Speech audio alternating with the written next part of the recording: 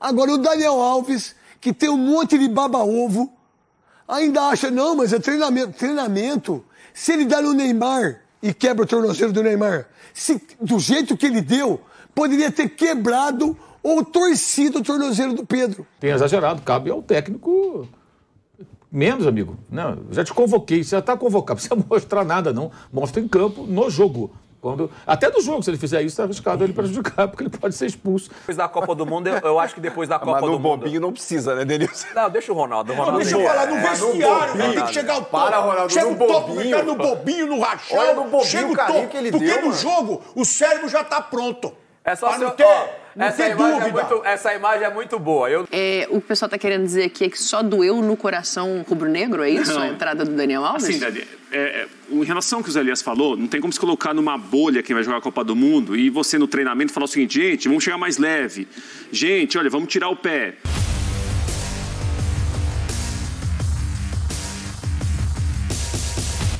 Salve, salve nação, saudações rubro-negras. Separei pra vocês aqui o que a imprensa falou da entrada maldosa do Daniel Alves no Pedro. Pra mim foi maldoso, cara. Pra mim não tem desculpa, foi maldoso, poderia evitar um tipo de lance desse num treino, né? Já pensou se ele tira o Pedro da Copa? É sobre isso que a gente vai falar aqui e agora separei um trecho do Neto, dos donos da bola, da Jovem Pan Esportes, do Mauro César falando, também do canal Jogo Aberto, do debate do Jogo Aberto e um trechinho do Futebol 90 da ESPN Brasil falando sobre este lance. O Neto foi o único cara que detonou o Daniel Alves. Quero dar um like aí pro Neto, porque o Neto não passa pano, né, cara? E o resto da imprensa ficou passando pano para o Daniel Alves. Lamentável, velho, lamentável. Muito bem, vou deixar aqui na descrição o link de todos os canais como créditos. Band, canal Os Donos da Bola e Jogo Aberto, ESPN Brasil e também da Jovem Pan Esportes. Galera, aproveitando que tá tendo muitos jogos agora amistosos, né, cara, de seleções antes da Copa do Mundo, olha só a dica especial que eu tenho para você. Salve, salve nação! Este vídeo tem o apoio da 1xBet, a melhor e maior casa de aposta do mundo. A 1xBet é parceira de Barcelona, Chelsea e Liverpool. Use o nosso cupom de desconto e ganhe 100% de bônus. Por exemplo, se você depositar 100 reais, você recebe 100 reais de bônus. Se você depositar 50 reais, você recebe 50 reais de bônus. Tá no primeiro comentário fixado o link e nosso cupom. 1xBet, a melhor e maior casa de aposta do mundo. Aproveite o nosso cupom, tá no primeiro comentário fixado. Não perca tempo, aproveite o nosso cupom, está no primeiro comentário fixado. Quero pedir para você agora o like e a sua inscrição aqui no nosso canal. Vamos trazer muito conteúdo aqui falando dos nossos jogadores na Copa do Mundo. Pedro, Everton Ribeiro, Arrascaeta, Varela, tudo que acontecer com os nossos rubro-negros, a gente vai trazer aqui para vocês os vídeos, tá bom, galera? Vamos lá pro vídeo então, simbora. A gente vê um imbecil do Daniel Alves dar um pontapé no Rafinha, no Bobinho, uma, um, um carrinho no tornozelo do Pedro, mostra uma coisa que aconteceu na Copa 2018. Lembra o carrinho que o Casimiro deu no Fred? Que nem a Copa disputou? Sabe o que é isso? Falta de comando. O cara achar que pode tudo. O cara querer mostrar nos treinamentos coisa que ele não fez durante a temporada, que foi jogar futebol. Tá atrasado do que os outros. Porque o Pedro está na frente. Os outros jogadores estão na frente. Por quê? Porque terminaram campeonatos. Ele não. Três Copas do Mundo. Ele perdeu. Tá para quarta. E continua sendo preparador físico. O cara, quando dá um pontapé como esse, num treino, e nós fomos jogador, não é nada quem não foi jogador, hein? A gente aceitava isso? Não, e outra, treinamento uma Copa do Mundo. Pô, não, é eu tô falando- pré-temporada. Tô né? falando nós do jogo. É, você tá doido. No treino de terça, no coletivo de terça. Treino, preparação pra rachão. Copa. Aí um desse. E aí o que mais me deixa bravo, como é que ninguém para o treino, chama a atenção dele, o massagista ir até o Pedro, o Rafinha. Ô, ps, ô Daniel, calma. Pô, calma. Não, não precisa mostrar, não. Calma, eu vou, depois eu, eu só quero dar um cacete nele aqui para mostrar para as pessoas que aqui eu não faço média, nem o Veloso, nem o Souza nem o Canhão que está se recuperando aí como eu. Aqui a gente, a gente torce para a seleção brasileira. Tá aqui, ó. Tá aqui, ó. Jairzinho e Pelé. Eu duvido que os dois, um meteu o pé, pé no outro na Copa de 70. Agora o Daniel Alves, que tem um monte de baba-ovo, ainda acha, não, mas é treinamento. Treinamento. Se ele dá no Neymar e quebra o tornozelo do Neymar, se, do jeito que ele deu, poderia ter quebrado ou torcido o tornozelo do Pedro. Que está em final de temporada, que está com os músculos cansados. Ele não. Ele está tinindo. Porque Faz ele. tempo, hein? Porque, porque ele não joga. Ele não faz gol. Tá fora de ritmo, né? Ele tá, é. É. E, a, e a maldade. E aí, comissão técnica não fala nada, médico não fala nada, CBF não fala nada. Vocês são a cara do Daniel Alves. A CBF é a cara do Daniel Alves, que pode fazer o que quiser nos clubes, nos campeonatos, nas federações e ainda estar comandando o futebol. Porque o que vocês fizeram, o que vocês fazem, vocês não convocar o Gabigol, aí vem também o que o Gabigol entrou na onda da torcida do Flamengo lá, que a gente ia colocar ontem e não colocou, que ele é, falou, ah, eu já jogo numa seleção, não preciso jogar na seleção. Pô, mas ele tava mamado, tava numa festa. Ele é um dos melhores atacantes do mundo, mas vai o Pedro, né? Sabe quantos jogos o Pedro jogou pela seleção? Completo. Titular? Acho que É, você jogou completo. um. Você jogou um? Não, jogou meio tempo. Ah, Então, não jogou nenhum. Cara, desculpa. O Vamp falou de uma situação que realmente chamou a atenção ontem, né? Que foi essa entrada do Daniel Alves no Pedro. É, é o sonho de qualquer jogador disputar uma Copa do Mundo. Agora, e aí vai num treinamento uma entrada que vai realmente ali de sola no tornozelo do Pedro. Claro, foi proposital? Não. Agora, teve um outro lance também que mostra o Daniel Alves dando um carrinho no Neymar, no bobinho. Isso é o Daniel Alves querendo mostrar vontade, querendo dizer, ó, estão falando que eu tô velho, mas eu vou dar tudo nos treinamentos. Mas também pode ser perigoso. Perigoso é, né? É, Poderia né? ter machucado um outro jogador. É, eu não sei se ele não tem condições de falar o que passa na cabeça dele, né? Mas aparentemente ele quer mostrar que tem vigor físico, que ele consegue disputar as jogadas e tudo mais. Eu acho que sim, isso é evidente que ele vai conseguir dar um carrinho, disputar uma bola. A questão é, num jogo, a Vera, se ele, com quase 40 anos, jogando de lateral, essa é a minha dúvida, tá? No momento que tiver com a bola no pé, acho que ele pode ser um jogador importante, pode ser um jogador útil, sem dúvida alguma. Mas é no momento que a bola estiver com o adversário e o jogo for forçado do lado dele. Se ele vai ter capacidade de recuperação para desarmar, para cercar, para proteger o setor, é, para fazer coberturas de companheiros em momentos que- em que isso for necessário. Ou seja, executar todas as ações inerentes a um jogador que atua nessa função. Lateral, direito, integrante da linha de defesa. Ou seja, não joga com a bola no pé o tempo todo. Ninguém joga com a bola no pé o tempo todo. O Brasil pode ter, sei lá, 80% de posse de bola contra é, a Sérvia. Mas uma bola pode ser esticada ali na ponta esquerda do, com o Kostic lá, que é o jogador joga aberto por ali, se ele tiver espaço. Se for o Daniel, acho até que não vai ser, acho que o titular- não será ele, mas partindo do- de uma possibilidade de que ele esteja em campo, eh, se ele vai ter condições. Rapidez, recuperação, velocidade, tempo de bola, eh, essa é a dúvida. Porque no São Paulo ele já mostrava que já tá, é óbvio até, não é nada, nada surpreendente, numa descendente, né?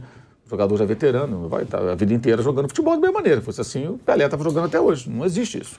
E acho que essa que é a grande dúvida. Não é só a idade, é o declínio técnico. Vamos lembrar que o Daniel Alves saiu do São Paulo e foi para o Barcelona. E o Barcelona não ficou com ele.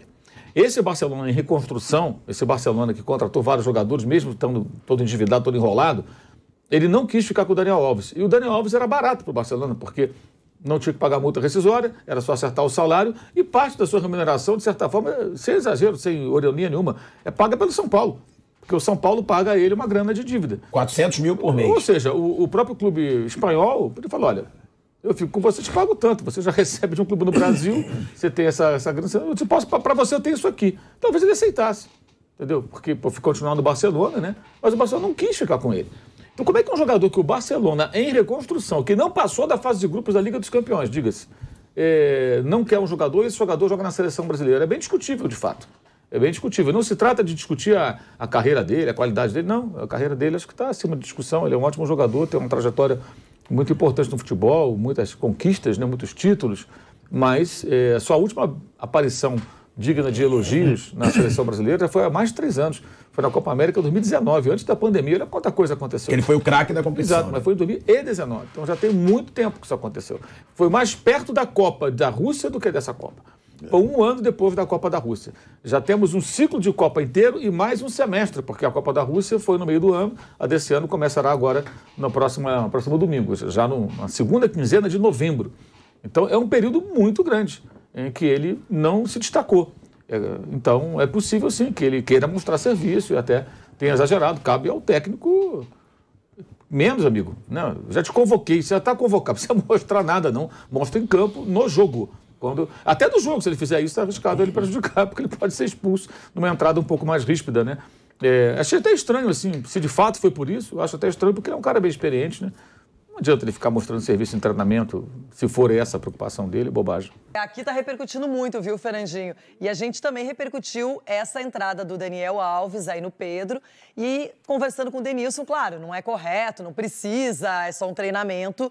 Mas a gente também percebe que ele tá com muita vontade de mostrar que tá em forma, que tá bem, que ainda tem o mesmo potencial e vigor físico, técnico. Muita gente questionou. O Daniel deve ter recebido, não é? Algumas críticas, enfim mas é uma escolha do Tite e ele está ali treinando. E para alguns, inclusive que eu já conversei comentaristas, não descartariam até a possibilidade do Daniel Alves ser um titular no Brasil. Enfim, veremos isso na estreia da seleção brasileira contra a Sérvia, Chico. Olha, Chico. Ô, Daniel, vai devagar aí, hein? É, acho que num, numa das últimas convocações, o Danilo deu uma pegadinha, o volante do Palmeiras, no Neymar também repercutiu bastante. O Denilson e o Ronaldo podem falar mais até sobre essa questão de treinamento aí, às vezes a galera exagera. Eu não duvidaria do Daniel titular, Renata, porque a gente está falando de uma competição muito diferente, que são pouquíssimos jogos, em que você precisa da experiência. É, eu acho que na, na avaliação do Tite, se, porque até porque o Marquinhos tem uma dúvida e tudo mais, ele teria que botar um militão que fica um pouco mais. Né? O Marquinhos é, é, sa, tem uma saída de bola melhor. Mas pela direita, se ele opta pelo Daniel, aí o Alexandro na esquerda para ficar um pouco mais. Se ele opta pelo Danilo, Alex Teles que sobe um pouco mais. Nesse balanço, né? Pelos lados do campo. Eu acho que essas são as ideias do Tite.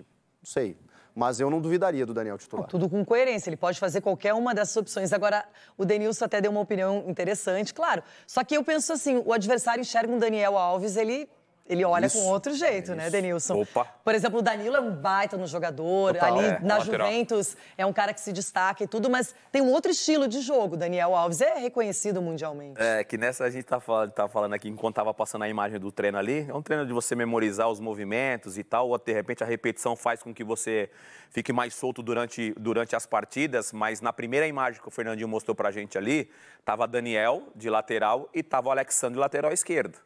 Então é uma possibilidade. Aí tem a imagem desses caras saindo e nesse time tava ali os principais jogadores, o, o, o Richardson ali mais avançado, o Neymar mais avançado.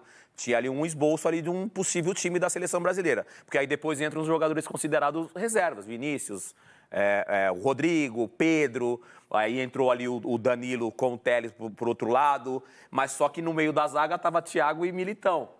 Então, assim, tem alguma. É que ontem o Marquinhos estava trotando né? ainda, né? Alguns então... sintomas aí de um time que, de repente. Ah, eu acho que foi o Ulisses que falou aqui que o Daniel Alves poderia ser titular na seleção brasileira. A gente até riu aqui na, naquele momento. Mas eu acho que ele tem um fundo de, de, de verdade aí. Já olha, é diferente, mas por um também aqui no Brasil a gente percebe que tem muita gente resistente ao fato da convocação, em primeiro lugar, e até da titularidade do Daniel Alves. O Danilo, um cara que dá boas entrevistas, não é? Um cara que eu acho que é importante também para a seleção, sempre chamado pelo Tite, mas é uma boa concorrência. Ah, bom. É, eu fui um dos críticos aqui da convocação do Daniel, agora que já está na Copa, na seleção, que no CEST é apoiar. Eu acho que no treino não precisa. É, é, minha opinião é essa. Tudo bem que a galera vai falar, pô, treino, tem que já se preparar para o jogo, isso, aquilo. Não precisa. O Incucu está fora da, da Copa pela França, que é um dos principais jogadores, jogou muito na Bundesliga por conta de uma entrada também de treino assim. Do Camavinga, né? É, e o Dani, e, é, do Camavinga, que é bom jogador também do Real. Real Madrid. E o, mas o Dani, a questão principal é que é um cara muito campeão, né? É um cara que é o maior campeão da história do futebol, falta uma Copa do Mundo no currículo dele. E lógico, agora é apoiar porque são sete jogos e tudo pode acontecer. O gozado é que se ele, não, se ele não chega Se ele não vai, fala lá, tá vendo? Já, ele tá cansado, o Daniel Alves. Não deu nem o bote. Não é novidade então, não, toda mas- hora vocês querem reclamar do Não é cara. novidade ele não, tá lá, mas- ele tem que chegar ao rei. Quem tá lá tem que chegar ao rei. Tem que mostrar pro treinador tá com vontade. Se ele se tu começa a mostrar lá, olha, o Daniel Alves tá cansado, Tá 20 sem e ritmo de tantos jogo. anos. E se quebra o Pedro? E se tira o Pedro da Copa, hein? Seu comentaristazinho. Ah, ele não quer mais saber. Vocês também são uns corneteiros de É, plantão, ô, velho. ô, Leirão, tem que chegar ao que- topo. Eu acho que Ah. depois da Copa do Mundo, eu, eu acho que depois da Copa Mas no do Mundo. bobinho não precisa, né, Denilson? Não, deixa o Ronaldo. O Não, Ronaldo deixa eu é- falar, no é, vestiário, tem que chegar ao topo. Para, Ronaldo, Chega o topo, bobinho. fica no bobinho, no rachão. Olha no bobinho chega o o topo, que ele porque deu, no mano. jogo o cérebro já tá pronto. É só Pra não ter, ó, não essa, ter imagem é dúvida. muito, essa imagem é muito boa. Eu não- me desculpa aí a minha ignorância, mas eu não sei o nome do auxiliar que tá ali em pé. ó. Olha a cara que ele faz, ó. É o Rosa. Olha a cara que ele faz, ó. Fala, mano. É o- Daniel, você tá tirando. Ele faz uma cara. Ó, Daniel. Eu não tinha Você tá visto. tirando, mano. O Ricardo Ó, ó, Rosa, que é o- ó, é o ó preparador físico do Ô, louco, meu. Ele fala, ô, louco, É o meu. Rosa. Você viu, Chico? Ô, louco, meu. Você não, sabe, você não sabe quem é o Aí, Rosa. vocês viram que, mas depois Legal. vocês viram que o Daniel dá um tipo não que ele tá assim ali? Por isso que eu falei, Cumprimento perdão. o Rafinha É. depois. Me desculpe a minha Ele é o preparador físico do Neymar, ele acompanha o Neymar a carreira Então, toda. mas Ó, olha olha a sequência, ó, ó a "Que sequência. lindo." Aí aqui, ó, Tá falando, agora, será que eu não ó. consigo acreditar em você, Aí ele dá aquele, É, né? Ele é o Rosa? É que eu não consigo acreditar Ricardo em você, irmão. Rosa, ele é o Ricardo preparador Rosa. físico do Neymar há Então, anos. então ele tá trabalhou bom. no Corinthians, fez um grande Tá, trabalho então, também olha, na minha época olha, olha, e seguiu olha o o semblante do Ricardo Rosa, segundo o Ronaldo, né? Depois eu vou ver isso aí. Aqui é porque- informação, menino. É, tá, que tá. não é conversa fiada, não. e tem beleza. que chegar ao toco aí. Aí não o é treinamento, é dá guerra. O Rafinha saiu pulando. Não pula, não. Não pula, não. Aqui, tô vendo que vocês estão muito Esse ali, o, o Ronaldo, é o comentarista do Corinthians, né, cara? Ansiosos, Daniel Alves, entrada. Eu tava ouvindo aqui, você tá muito preocupada com o Pedro, Daniel. É o quê? Com a entrada do Daniel? É com o Pedro? O que que houve aí? Não, eu tô preocupada é com as escolhas para lateral direita da seleção brasileira, São porque se por acaso acontece alguma coisa tempo. com o Ah, claro, Danilo, imagino, imagino. Na Copa. acho complicado um jogador sem ritmo. Mas enfim, debateremos isso ao longo do programa. Mas eu sou obrigada ao quê? Já falou ali do Daniel Alves. Vamos Deixa colocar a imagem, por favor, do melhor. treino, porque o Daniel, ele é a convocação mais questionada, né? Acho que isso, isso é unânime, assim, há quem defenda, como o Birner que diz que entende a importância, mas o Daniel é a convocação mais questionada e aí ele tá treinando. Ele estava sem jogar desde setembro. Ele já tinha dado uma entrada no Rafinha, que saiu mancando aí de, de- de uma rodinha de bobinho. É essa aí que a gente tá vendo primeiro, né? A entrada no Rafinha.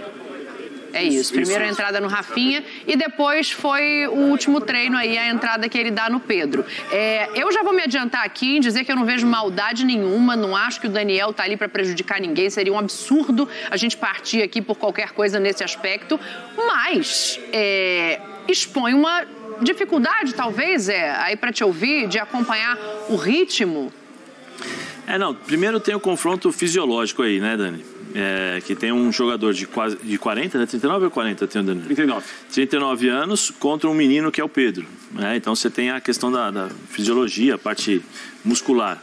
Depois, se vocês prestarem atenção, o Daniel ele faz o movimento antes do Pedro. Ele chega na bola, ele tenta chegar na bola antes do Pedro, mas só que o Pedro consegue com a velocidade se antecipar e aí o Daniel, eh, de forma inteligente, ele tira o peso do- da, da entrada. Se ele vai realmente mais forte, ele poderia acertar o Pedro e aí ter uma consequência mais grave. Mas é um lance assim, normal em termos de tentativa de antecipação, né? É, mas aí tem esse confronto fisiológico e tem também a, a inteligência do Daniel de tirar o peso da entrada, né? E depois tem o- a queda do Pedro, mas treino de, de, de- pré-campeonato como Copa do Mundo é assim. é natural esse É tipo natural. de jogada. É, eu acho que até o Tite pede para que eh, o treino seja o mais real. com lealdade, o Zé, mais, Zé, o mais, com lealdade, é, o mais real possível, porque quando ele, eh, quando eles precisarem entrar num jogo ou quando o Tite precisar do jogador, o jogador tem que estar treinando da forma que ele vai jogar. Exato. Copa do Mundo não dá para você não, vou tentar, vou ficar tranquilo aqui Não no é treino. Veg 2006. É, e depois eu vou chegar e, e vou jogar, porque não, não vai ser assim. Você vai ter confronto contra os melhores, teoricamente os melhores eh, jogadores ah, dos outros países, né? E depois depois nós temos aí a Europa em pleno vapor, né? Porque é a Sim, primeira Copa em que os times europeus, os jogadores europeus chegam também no ápice físico. É, muitos brasileiros também, né? Os que jogam na Europa, claro. É, o que o pessoal tá querendo dizer aqui é que só doeu no coração rubro-negro, é isso? Não. A entrada do Daniel Alves? Assim, Dani, é, é, em relação ao que o Zé Elias falou, não tem como se colocar numa bolha quem vai jogar a Copa do Mundo e você no treinamento falar o seguinte, gente, vamos chegar mais leve. Gente, olha, vamos tirar o pé. Isso não tem como dosar. Né? Você vai treinar mais ou menos como você vai jogar. Porque se cobra muito a intensidade no treinamento, a intensidade é como se fosse um jogo. Agora, que correu um risco ali, correu pela maneira que, que, que o Daniel Alves chega, né, depois atrasado e atinge o Pedro. Então, com o Zé, a impressão que o Daniel Alves, percebendo que chegaria atrasado, o próprio Daniel Alves recolhe um pouco, tira um pouco o peso da entrada. Agora que foi arriscado, foi. Sim. Foi muito arriscado. Ô Pedro, como é que repercutiu por aí? É, vou refazer a pergunta pra você, né? Porque assim, os corações rubro-negros não gostaram da imagem. A gente vê muita gente é, na internet falando, pô, podia ter machucado o Pedro. O, o Birner fala uma coisa que é verdade, né? São os dois jogadores que estão ali pra composição de elenco e que tem menos chance de jogar na Copa do Mundo, mas nem por isso você quer ninguém machucado. Qual foi a repercussão aí? Ô, Dani, eu tô preocupado com a repercussão desse, desse pessoal aí do, do coração. Seu coração tá bem? Seus amigos, tá tudo bem? Do Não, foi o coração rubro-negro. Pedro? Negro, jornalisticamente. Eu vou- Ah, tá, não. Me confundi, desculpa. Pode ser, pode ser o delay aqui, o retorno. Mas agora falando sério, ô, Dani, é, a barulheira, a gritaria, ela tá muito mais presente no Brasil. Toda a repercussão viralizou, fez barulho, polêmica. Aí tem gente que defende, tem gente que ataca, gente que diz. Ela tá no Brasil. Por aqui tá algo muito tranquilo, algo visto como um lance de treino. Que eu acho que ficou potencializado, viralizou, a gritaria foi maior, porque a gente está falando do patinho feio da convocação. O Daniel, infelizmente, pela história que ele tem, talvez não merecesse isso, mas pelo contexto todo, acabou sendo patinho feio da convocação, não vem jogando, não vem de boas temporadas, tem a confiança do Tite, mas talvez não tenha da torcida, ele virou patinho feio. E o Pedro é o artilheiro da maior torcida do Brasil, artilheiro do time que ganha tudo, ganha Libertadores, ganha Copa do Brasil, então o patinho feio pegou o queridinho ali, então acho que a gritaria fica maior, porque o debate não é exatamente, talvez, por seleção brasileira.